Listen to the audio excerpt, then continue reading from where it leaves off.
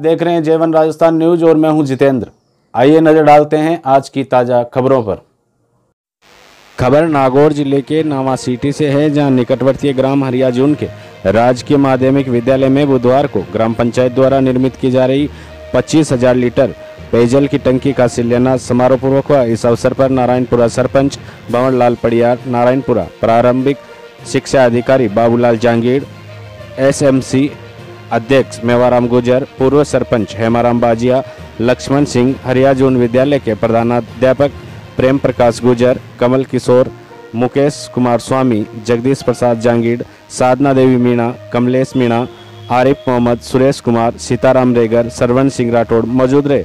इस अवसर पर सरपंच भंवर लाल पडियार ने कहा कि विद्यालयों का विकास मेरी प्राथमिकता है और मेरी ग्राम पंचायत के सभी विद्यालयों का विकास मेरी प्राथमिकता है। विद्यालय को किसी भी कार्य के लिए मोहताज नहीं रखेंगे। सभी विद्यालयों के विकास कार्य प्रस्ताव लिए गए हैं, वो तत्काल ही पूरे किए जाएँगे।